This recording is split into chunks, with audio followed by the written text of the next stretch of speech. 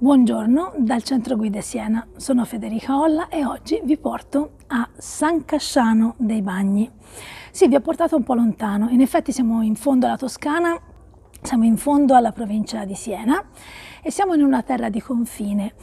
Attualmente possiamo dire che San Casciano si trova in un punto di incontro fra Toscana, Lazio e Umbria, che se la traduciamo in linguaggio un po' più arcaico dobbiamo cominciare a parlare del patrimonio di San Pietro, eh, della Repubblica Senese e dell'influenza orvietana. Ma se andiamo ancora più indietro nel tempo, dobbiamo parlare del territorio di Chiusi, del territorio di Vulci, di zone eh, di influenza etrusca, perché San Casciano dei Bagni si trova in una zona particolarmente densamente popolata in periodo etrusco.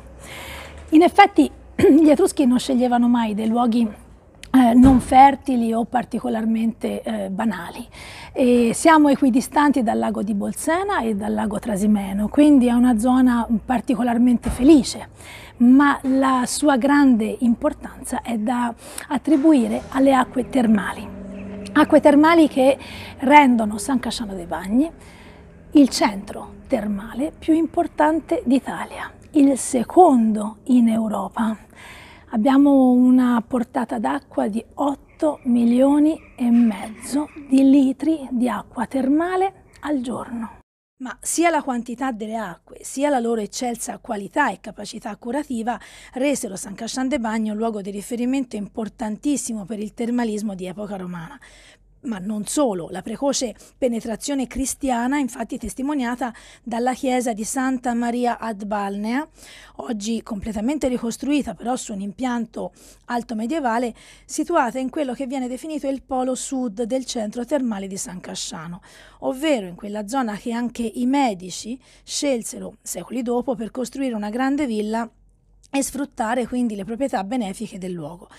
Nel 1602 Ferdinando I dette avvio ai lavori spostando di fatto il fulcro dell'attività termale dal Bagno Grande alla zona più meridionale del borgo.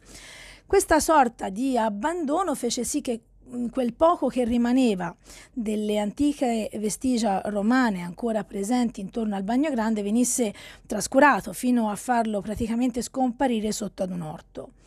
E qui comincia la splendida storia che l'archeologia moderna può narrare. A partire dal 2019 il Bagno Grande è stato studiato, esplorato, scavato, dissepolto, riportando alla luce un tesoro straordinario che ci racconta di un vero e proprio santuario. L'enorme deposito votivo che sta ancora emergendo ci parla di una profonda devozione verso una natura benevola e generosa e una ristretta ma significativa parte dei reperti è già visibile nel piccolo allestimento realizzato all'ingresso del palazzo comunale. Ma questa storia è appena cominciata e nonostante la distanza vi possiamo garantire che, come ci è stato più volte ripetuto dagli archeologi in questi giorni, la visita vale il viaggio.